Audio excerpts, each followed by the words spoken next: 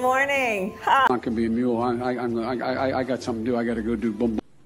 Jeez, what's up her butt? Hi. What I remember from the campaign trail is uh, even with a supportive family, it can still be grueling. You got any, any tricks of the trade? That's true. uh, working, I work out every morning, regardless of Dude, come on.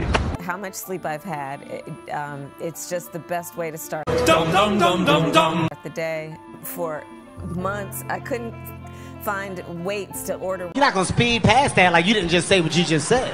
weights. They were sold out, so I had these liter water bottles that I filled, of course, with water and used them as hand weights. That's that's resourceful.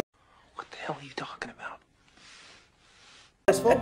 There were times where I was like in a little Iowa town, and that the only treadmill Why don't you just calm down? was in the back of a beauty salon. You know, and I'd be walking Right. by, and women be looking. What? Why is this guy there? An old saying goes, you can tell a politician is lying when his mouth is moving.